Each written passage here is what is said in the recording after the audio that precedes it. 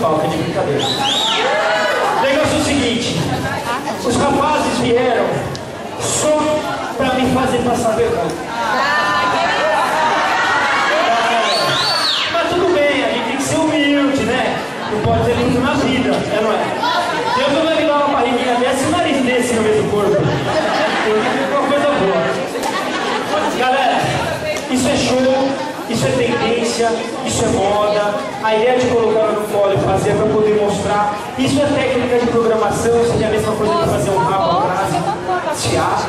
É óbvio que o cabelo dela, depois, eu tenho que levar no stand e tirar só a pontinha. O repicado está perfeito. Mas tem que repassar as bases, etc. Por quê? Porque é um show. Mas o que é a tendência? É pôr a cabeça da frente para trás, a partir da franja de cima, cortar como eu mostrei com a mão, e assim por diante. Legal?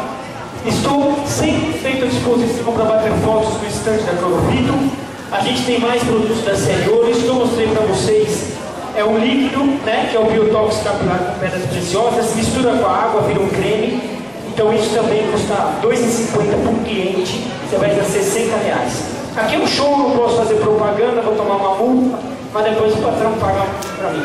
Gente, foi um prazer estar aqui. Só uma última coisa. Vocês ouviram falar do Inena? Ouviram falar de Inena, não? Inenarrável prazer de estar aqui com vocês. Obrigado, galera. Até a próxima. Tchau. Vamos lá, gente.